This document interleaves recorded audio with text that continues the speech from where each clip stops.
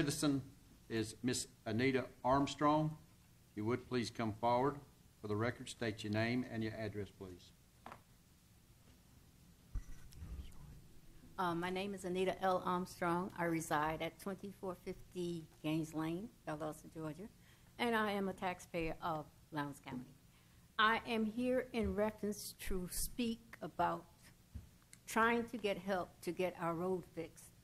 Since we have the garbage disposal uh, trucks coming in, they count, comes in, pick the garbage up. They have gotten stuck several times. They had to call people to pull them out.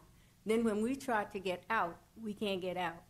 And we really need help. We have had the road, uh, we have tried to have the road fixed four times with no uh, results. Each time we get it fixed, it would get all bum fumbled up again.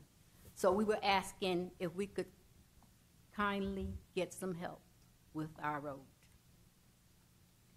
We'll Thank take a look at it and see what we can do for you, Miss. Thank Anita. you so Ms. much. And we need a hard surface, because it's very, very soft. Okay. Thank you. Thank you, ma'am.